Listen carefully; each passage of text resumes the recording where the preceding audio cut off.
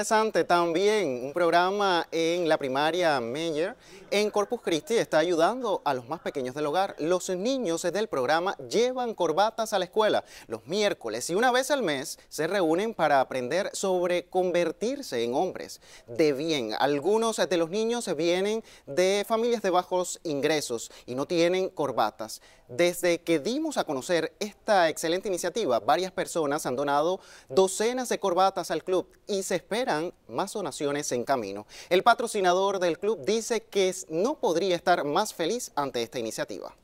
Déjame decirte que ha sido increíble. No anticipé el apoyo de la comunidad.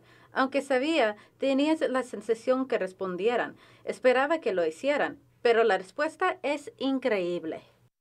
Pronto el programa no será solo para niños. Un club Chicas con Perlas será la nueva iniciativa permitiéndole a las niñas aprender sobre los buenos modales y conductas para que sean en un futuro mujeres de bien.